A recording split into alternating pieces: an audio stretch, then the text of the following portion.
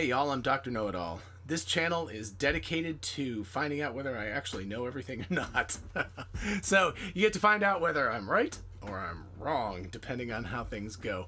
Um, my wife picks out questions that you ask, so make sure that you like and subscribe and also ask questions in the comments, and she will pick out questions that she finds interesting, and we will see how I do about them. So, I mean, esoterica, anything.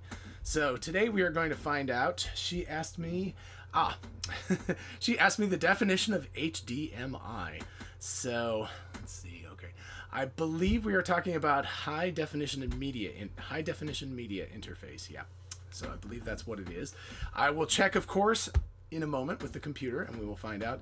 Um, HDMI is actually, if I remember correctly, a solution to deal with the plethora of cables that people uh, had. You know, I don't know if you're as old as I am, you remember back in the 80s and 90s, and when you'd start to put together first stereo systems and then computer systems with stereo systems, and then hi fi things and 5.1 surround sound and so forth, you would end up with these absolutely insane cable nests behind, you know, your TV or uh, behind your stereo and so forth.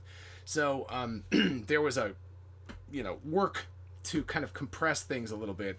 And uh, HDMI was designed as uh, actually it's an outgrowth of another technology. First, there was VGA, which everyone's probably familiar with, which is the little plug that goes from your computer to like older projectors and so forth.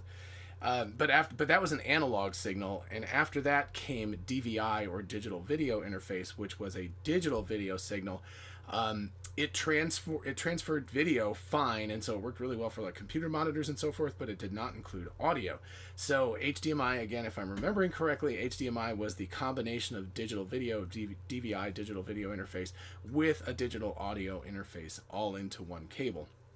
So uh, you know, nowadays life is a lot better. You have like one cable. It does what it's supposed to do, and uh, you happy days, right? So, eh, so anyway, if you have issues with DVI, and I know a lot of times there's like mini DVI and micro DVI and all these connections, and you're like, oh, I don't have the right cable, but believe me, compared to what life was like in the 80s and 90s, uh, things are much, much better than they used to be. So, all right, now I'm gonna go check. I think we can probably just use Wikipedia or something for today. So give me one second. I will speed up the footage here just so that you know, you know, I'm not cheating or anything like that.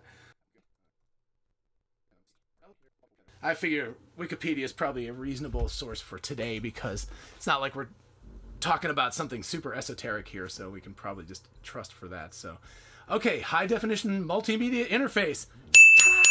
Winner. so there we go. Uh, I think I said media interface, but okay, I'll give myself the win anyway because that's pretty darn close.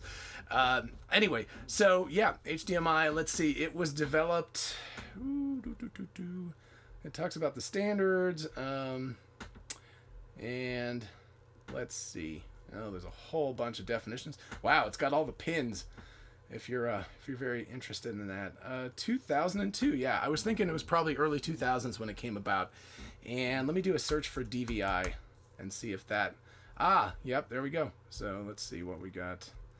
Um, no signal conversion is necessary, nor is there loss of video and even enter.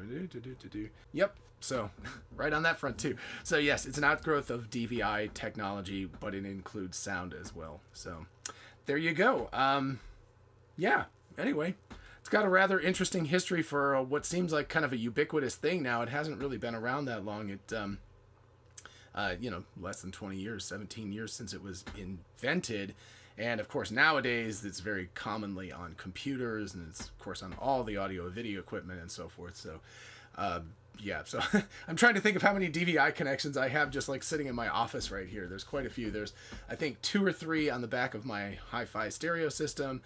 Um, there's one on the back of my computer. My other computer is a MacBook Pro, which has the USB C, but I have a, an HDMI converter on my USB C. So, um, and then I think I don't know. There's probably a few other ones lying around here someplace back in my audio equipment and so forth that I'm not thinking of. So anyway, it's it's become quite ubiquitous and it's quite a nice technology and it really did solve an awful lot of problems that were causing serious issues for people, just cable clutter. It was a big deal and it's uh it's a, a really nice solution.